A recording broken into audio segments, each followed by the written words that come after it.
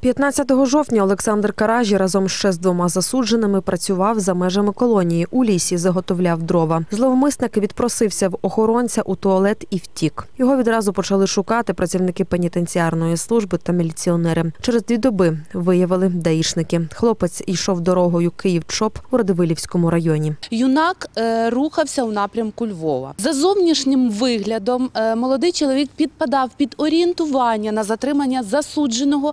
Працівники Державтоінспекції затримали хлопця та доставили на стаціонарний пост номер 1 що в селі Опарипси Радивилівського району для встановлення особи. Під час затримання 17-річний юнак опору не чинив. І згодом правоохоронці все ж таки встановили, що це саме він втік з Дубенської виправної колонії. Втікач пояснив міліціонерам, що захотів свободи, прямував у Львів. За півтори доби здолав 65 кілометрів. Тепер йому прибавлять термін за ґратами, хоча вже у 2016 році він міг вийти на волю. був як особа, яка стає твердо на шлях виправлення.